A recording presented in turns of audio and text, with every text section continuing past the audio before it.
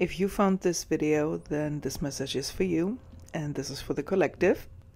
So, as we're heading into Pluto going into Aquarius, this week has been slightly challenging for some of us uh, regarding sleep, regarding uh, calming the nerves, and just in general staying focused.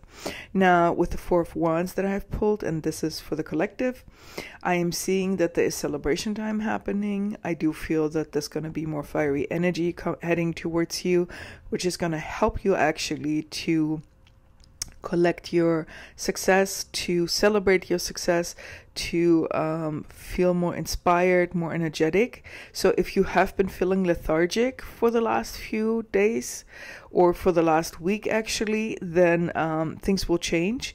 For some of you with um, fixed sign placements like Scorpio, Leo, Aquarius, and Taurus, there will be a lot more celebration. And this is not only for your sun sign, this could be also for your moon or rising.